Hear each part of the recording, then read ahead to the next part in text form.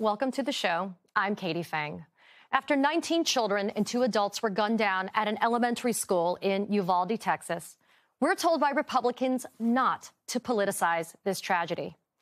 They tell us not to bring up the fact that we have more guns in circulation in this country than we have people. They tell us not to bring up the fact that our country has more guns per capita than any other country in the world. They tell us not to bring up the fact that weapons of war that can be so easily purchased by an 18 year old who can't even buy a beer.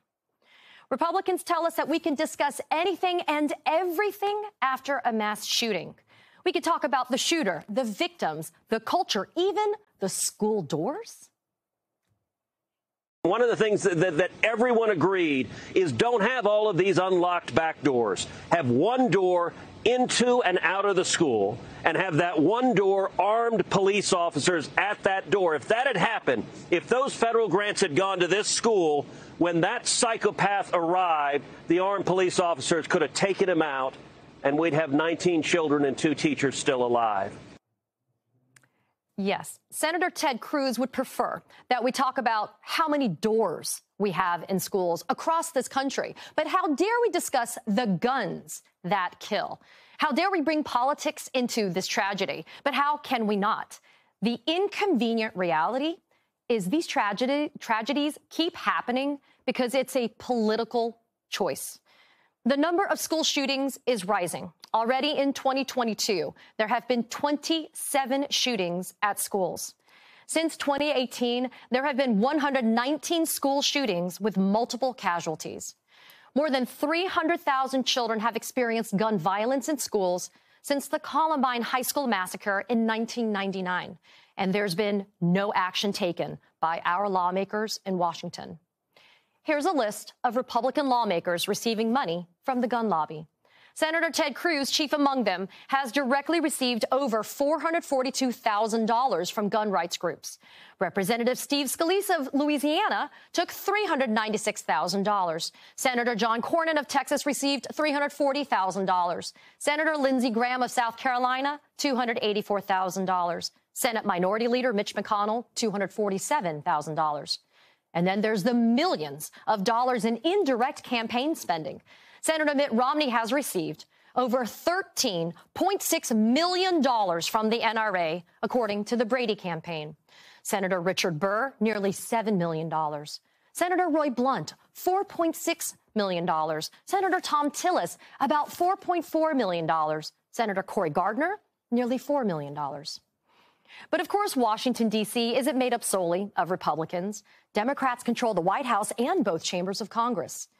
There are two Democratic senators, Senators Joe Manchin and Kyrsten Sinema, who can join their fellow Democrats and banish the filibuster in order to pass gun control legislation they can pass H.R. 8, the Bipartisan Background Checks Act of 2021, which would expand federal background checks for all gun purchases.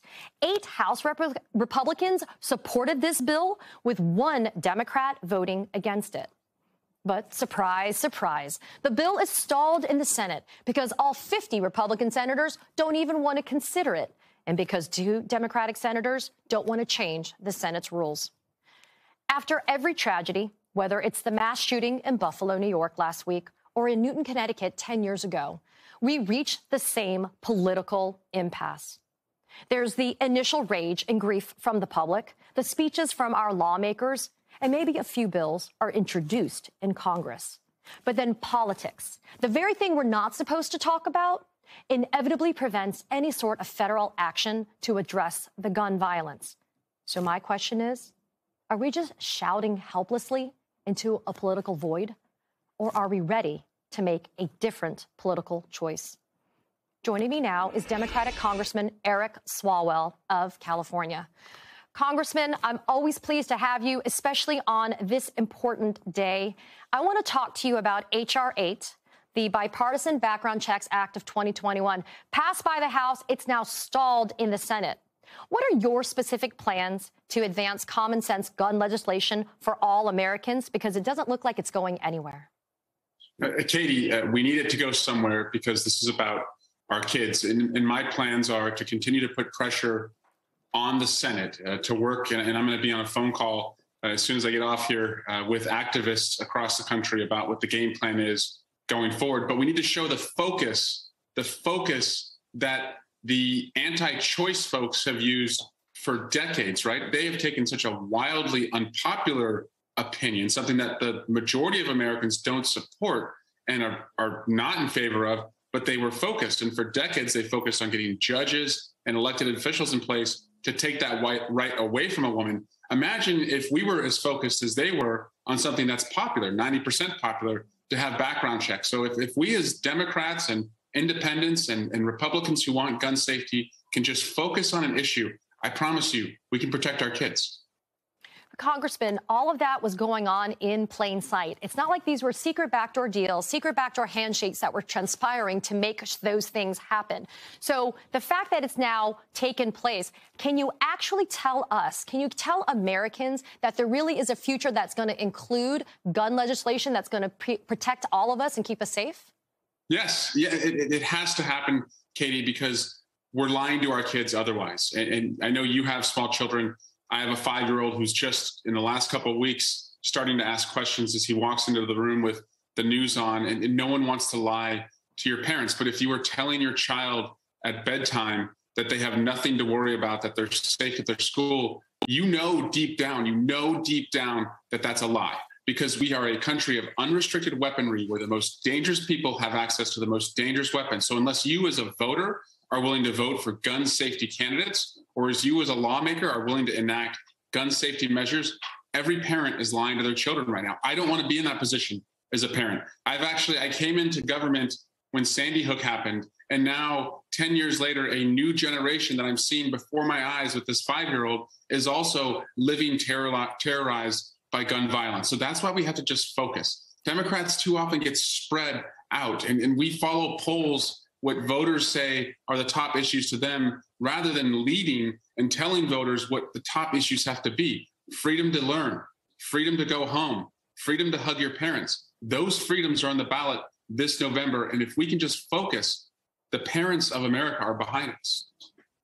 Congressman, I'm glad that you brought up Sandy Hook because after that shooting, at Sandy Hook Elementary in Newtown, Connecticut passed a law banning people from loading more than 10 rounds of ammunition in their firearms. On the other hand, Texas passed a permitless carry bill that allows for Texans to carry handguns openly in public without going through training or even getting a license.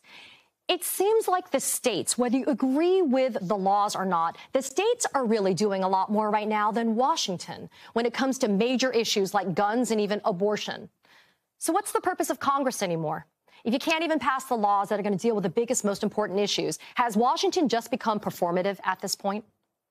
Uh, well, Katie, I would say uh, first, until we have federal background checks and federal red flag laws and a federal ban on assault weapons, you're only as safe as the state with the best laws around you, right? So uh, in Chicago, for example, you know, in Illinois, they're right next to Indiana with the loosest gun laws. You can't buy a gun in the city of Chicago, but just across the border in Indiana, guns flow in because they have very, very loose gun laws. But yes, I would actually urge our local elected officials, and we're seeing this in San Jose, California, by the way, where they're requiring insurance uh, if you have a firearm, that local elected officials can take gun safety measures. But take a step back here. How far have we come since Sandy Hook? After Sandy Hook, seven years went by without a single hearing on gun violence. And then Moms Demand Action, the Parkland students, they converged and we won the House in 2018, passed background checks in 2019. Now we're just a few votes short in the Senate. So while it looks like we haven't come that far, we've actually come miles since Sandy Hook, and we're there. We're on the goal line. And that's why people need to show up this November to give us the votes for a gun safety majority in the Senate. You know, Congressman, I ask you about the difference between the federal and the state politics play because I, I, want you to actually listen first to Senate Majority Leader Chuck Schumer and what he had to say about having a floor vote on H.R. 8. Let's take a listen. They want to see this body vote quickly so the American people can know which side each senator is on, which side each senator is on. I'm sympathetic to that and I believe that accountability votes are important. But sadly, this isn't a case of the American people not knowing where their senators stand. They know. why not have that vote? Put it on the record that after this tragedy in Texas, certain Republican senators are going to refuse to take action.